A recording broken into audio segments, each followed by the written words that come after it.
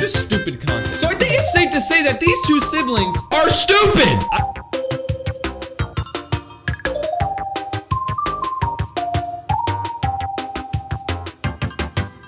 This is a weird YouTuber I found, and they just sent me a link to a YouTuber. Literally, all they sent was one link.